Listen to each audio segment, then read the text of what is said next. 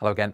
Thankfully, this week won't be as wet as the weekend was. That's not difficult, but there will still be some rain or showers during the next few days because we've still got low pressure centred on top of the UK. It's an old low and it's tending to recycle these weather fronts. They're swirling around, they're decaying features, but they're still bringing outbreaks of rain or showers.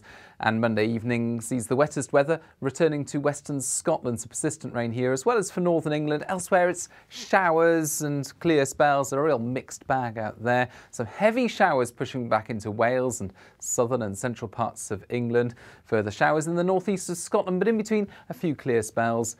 Quite chilly actually as we start the day on Tuesday in the north of Scotland, where we get some shelter, some light winds and so on. A few mist patches across central Scotland and still that persistent rain. A damp start there for western areas, but that turns to showers as it crosses the country and, well, by the afternoon, most places in the same bag sunny spells and heavy downpours. The heaviest showers across central and southern parts of the UK with hail and thunder in places. A gusty wind making it feel cool 15 to 16 Celsius at best, but that will help to carry these showers through quite briskly.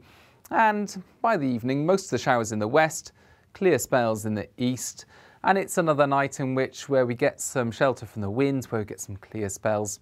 We'll get temperatures down into the low single figures across, say, northern Britain, but generally the wind stirring things up enough to keep those temperatures at around 9 to 12 Celsius as we start off Wednesday. A bright start to Wednesday. You can see actually plenty of sunshine for England, Wales, southern Scotland.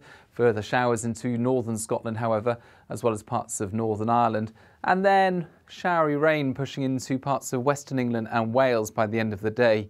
14 to 15 Celsius. Lighter winds, I think, in the south for a time, but watch the weather front here in the south as it just dangles its way across southern parts of the country and there's some uncertainty about how far north and how developed this will be, but there's a strong chance that throughout Thursday and much of Friday it'll be wet across southern parts of the UK, perhaps windy as well.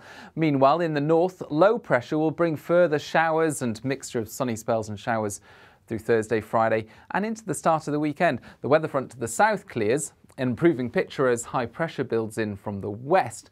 But this high is taking its time to arrive, and I think that as we start off the weekend, this is how things look. Low pressure to the east of the UK, high pressure to the west, so tending to settle things down from the west, but in between, a northerly squeeze and uh, the extent of the cold weather coming in from the north there indicated by the colours on the map, and that will be cold enough to bring snow to the peaks of the Scottish mountains and a frost in any sheltered spots as we start off the weekend. So a lot going on this week, but hopefully not as impactful as all that wet weather that we saw at the weekend. Follow us on social media and we'll keep you updated right here. Bye bye.